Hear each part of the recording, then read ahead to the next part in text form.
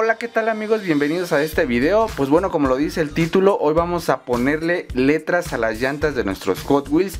Sinceramente es la primera vez que lo voy a hacer y lo vamos a realizar con tampos en decal. Esta es la plantilla de las letras. Esta plantilla trae varias marcas. Creo que sí se alcanzan a ver en el reflejo de la luz.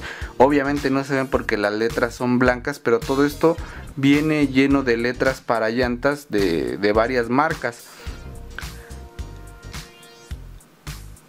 Ahí creo que se alcanza a ver un poquito mejor. Sí, bueno, ojalá y logren ver eh, todos los arcos que, forman las letras. Miren, ahí se ve un poquito mejor. Les digo, esta plantilla viene llena de, letras para llantas. Y aquí hay que ser muy selectivos. ¿Por qué? Porque tenemos que agarrar Hot Wheels que tengan la cama de la llanta un poquito ancha. Ya que el tamaño eh, pues varía dependiendo de la marca que le, que le queramos poner. Por ejemplo, yo voy a ocupar esta Ford 150. Si se dan cuenta, la cama de las llantas es ancha. Y aquí bien nos puede caber eh, pues las letras.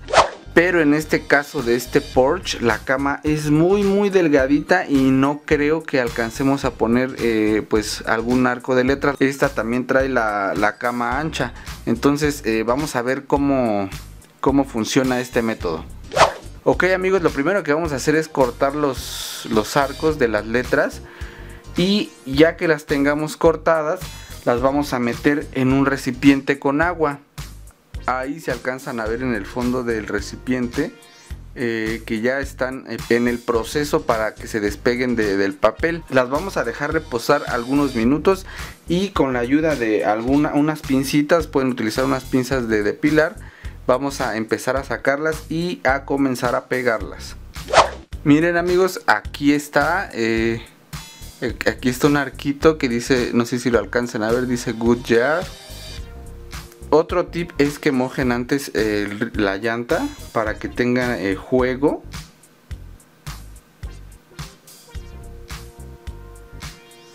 Así si les queda chueco en un principio tienen eh, pues tiempo de moverlo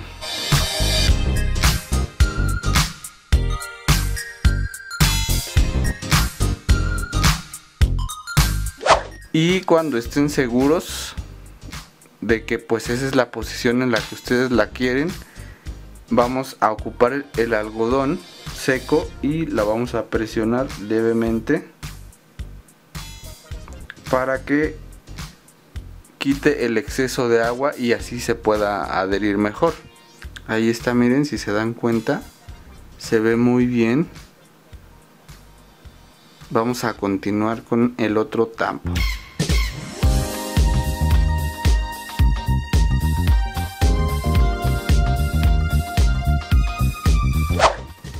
Y así es como les tiene que ir quedando amigos.